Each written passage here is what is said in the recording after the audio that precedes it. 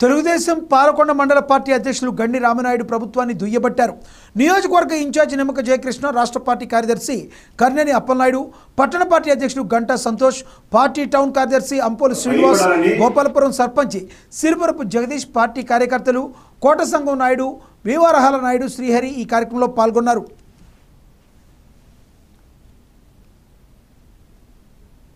ఆయన ఒక బీసీ నాయకుడు అయినప్పటికీ నువ్వు రాష్ట్రాన్ని ఎలక్షన్లో దిక్కుమాలి పంతొమ్మిది దిక్కు ముందు బీసీలకు పెద్ద పేరు చేస్తాననేసి ఏవో మాయ మాటలు చెప్పి ఈరోజు నువ్వు బీసీలకు చేసిన అన్యాయము అరెస్టుల మీద అరెస్టులు అరెస్టుల మీద అరెస్టులు చేసి నువ్వు ఈ రాష్ట్ర బీసీ ప్రయోజనాన్ని దెబ్బకొడుతున్నావు.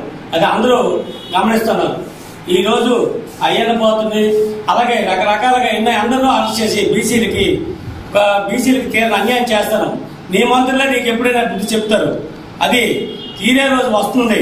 రెండు వేల ఇరవై నాలుగు కల్లా ఈ బీసీల సంగతి ఈ బీసీలు ఓట్ల మీద నువ్వు గెలిచి బీసీలకి అన్యాయం చేసి నువ్వు దెబ్బ మీద దెబ్బ బీసీలు కొడుతూ తీవ్ర అన్యాయం చేస్తాను బీసీలు అంటే నీకు ఒక అలుసుగా మాట్లా ఒక అలుసుగా చూస్తాను ఈ బీసీల్లో నువ్వు అనగదొక్క ప్రయత్నం చేస్తాను నువ్వు రాబోయే రోజుల్లో ఆ దేవుడు నిన్ను ఏ రకంగా క్షమించడు.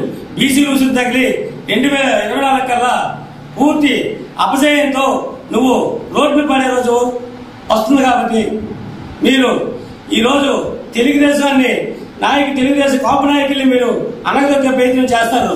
దీని గురించి మీరు ఎంతవరకు నడుస్తున్నారు అన్నది ఈ ప్రభుత్వం మరి అన్నారు ఉండదు. మీరు దెబ్బతీసే రోజు దగ్గరలో ఉందని హెచ్చరిస్తూ నేను బీసీ నాయకుని మండల పార్టీ టీడీపీ నాయక మండల పార్టీ అధ్యక్షుడు ఇటు జగన్మోహన్ రెడ్డి మరోసారి దాడి చేశారు.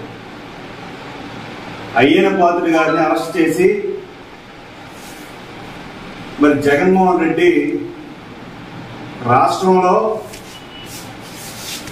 తెలుగుదేశం పార్టీ నాయకుల్ని భయ భయప్రాంతులకి గురి చేయాలని జగన్మోహన్ రెడ్డి గారు చూస్తున్నారు. తెలుగుదేశం పార్టీ నాయకులు ఎవరు కూడా ఇటువంటి బెదిరింపులకి ఎవరు కూడా భయపడాలని నేను తెలియజేస్తున్నాను. బీసీలపై ఎందుకంత కక్ష? ఈ రోజు నువ్వు ముఖ్యమంత్రి అయ్యావంటే బీసీ నాయకుల ఓట్లతో ఈ రాష్ట్రంలో అధికారాన్ని చేపట్టావు. అధికారాన్ని చేపట్టిన తర్వాత బీసీ నాయకులపైన దాడి చేయడం బీసీ నాయకులపై నీకు ఎంత ప్రేమ ఉందో